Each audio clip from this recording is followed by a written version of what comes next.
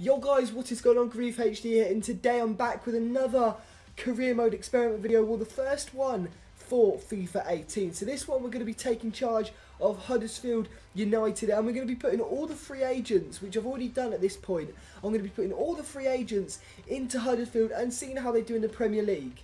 So last time I did this video, um, I actually managed to get about 60,000 views, which is absolutely amazing for a channel this size, I think, and it went down an absolute um, storm, and I, I loved making it, and I love seeing how teams actually get on, and I love making these types of videos, so I probably will be doing more of these throughout FIFA 18.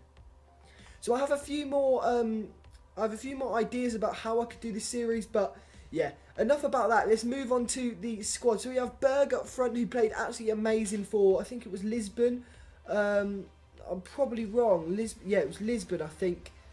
Um, was it Lisbon? Was it Lisbon? Oh, it doesn't matter. We've got Sultan Gira, we've got Rodriguez, we've got players like that. We've got Axel Witsel, we've got Oscar, who's obviously playing in China at the moment. We've got Joe Ledley. So we've got a pretty good squad at the moment. So we've got pretty much an average BPL squad, except in the defence. Defence isn't very good at all. But um, but we ignore that. We've got Oscar and we've got Berg. So we should be a high scoring kind of season. Um, and we'll actually see how we do. But we have Gervinho, who's obviously an ex-Arsenal player. But we'll, we'll see how we do in the season anyway. But we'll go into um, our simulation and we'll um, actually sim until um, halfway through the season, I think I did, just after the Leicester game on the 1st of January. So um, let's see how this went. And we're just simming in now. And the first thing I obviously see, the first thing I look at is a manager rating. And I got 73 manager rating which isn't too bad. Um, I think I went into the messages for some reason. I don't know why I did that. It, not that it matters, but it looks like a few of our players' contracts are running out. But let's take a look at the league table, what we're all waiting for.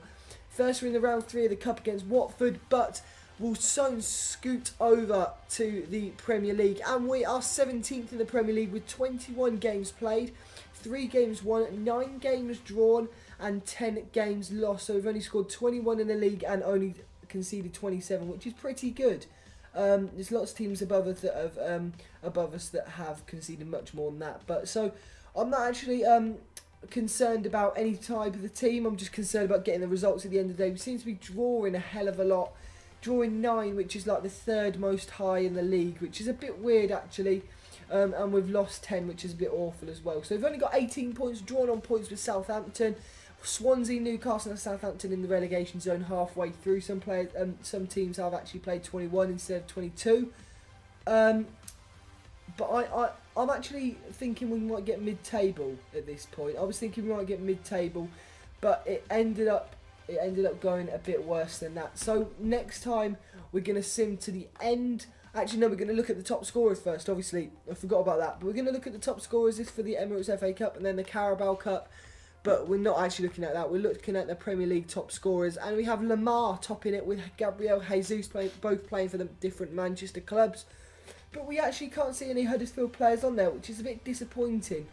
As um, we'll soon go on to look at our squad hub kind of um, squad hub kind of setup thing, which is new. You can't just go into like um, squad report. Well, squad hub is squad report, but you're gonna have to look at the stats separately. So um, Oh my god, that keeper's 40 years old.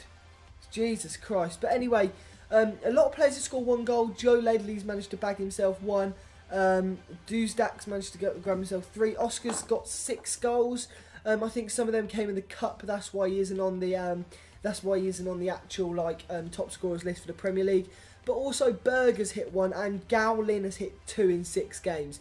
So no, not really any standout goal scorers. Oscar being the highest, and he's a Cam with six goals. He's obviously gone at one rating as well, given the fact that he's only 26 years old. But we've got a few players on loan which I obviously couldn't get rid of in the squad um, in the transfer like bit in when I, before I started the career. But we're going to go straight to the end of the season before our game with Arsenal. Um, we've got a pretty hard end of the season with Manchester City and Arsenal there, but we're going to go before our Arsenal game and see how we get on. Here we go. And obviously we've got a 65 manager rating, which isn't too good, meaning we have dropped somewhat in the league.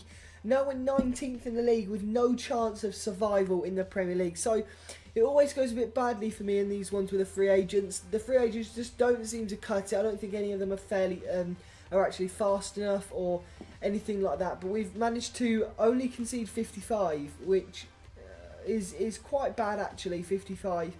But we've managed to score 36, which um, that isn't too good as well. but um, we've got 33 points after seven wins and 12 draws. But I'm actually hoping, I'm hoping that we'll get a result in the last game of the season against Arsenal. It'll be quite difficult too, but Arsenal are 11th in the table, so I think Arsene Wenger would have been sacked in this scenario. We've got West Ham in fifth position, we've got Chelsea, Spurs, Manchester City, Watford trailing in seventh, and we'll be able to see how the league ends up after the Arsenal game. Obviously, we've got Newcastle United in last place with 27 points. So the only way Swansea can stay up is if they win and Southampton win by two or more, and um, they win by two or more. I can't I can't bother to explain it, but there's the squad how it ends up on the last game of the season. I think that's a pretty um, a pretty um, strong squad for the end of the season. But we're going to check out how many people um, have scored managed to hit the net again. We've got Rene Augusto's hit six. Um, uh, what's his name? Uh, Witsel's hit five.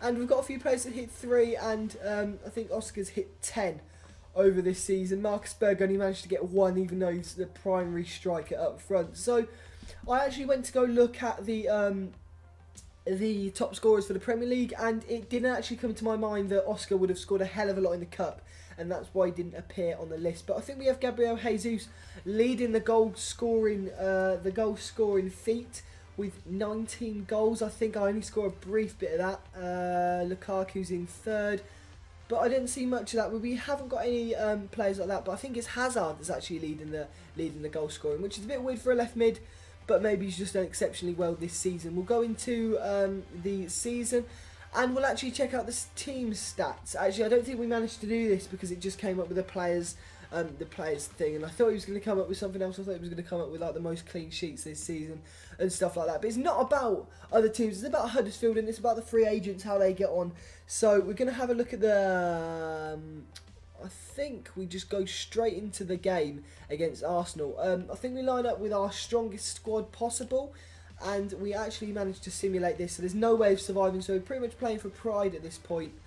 Um, but Gil is out. I'm a primary centre back as well. Don't know whether he's going to be out for this uh, this next game, but there we go. Sim match, and we go in with Villar, Benzar, Hlashwo, Gil, Diaz, Witsel, Augusto, Dustak, Giovinco, Oscar, Berg, and with a few average players on the bench. But let's see how we go after the 11th minute, I think, or the I can't remember. 16th minute, it was Sanchez who managed to get one up against um, us. But at the end of the game, we have had a 2-1 win against Arsenal with Gervinho back in two. So he's obviously got more in that game than he did the whole season, which is a bit strange.